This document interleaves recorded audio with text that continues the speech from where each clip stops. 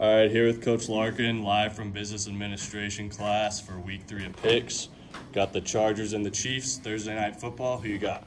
Ooh, tough divisional game. Uh, there's preseason speed, regular season speed, and this game will be about divisional speed. I got to go with the Chiefs. All right. So who covers the spread? Kansas City's favored by three and a half. Chiefs cover. Uh, who has more passing yards, Herbert or Mahomes? Oh, tough one. I've got to go with Mahomes. What player scores the first touchdown? Kelce. And what is the final score? I'll go in this one. I'll go Chiefs 35, Chargers 21. All right. Thanks, All right, Coach thanks. Larkin.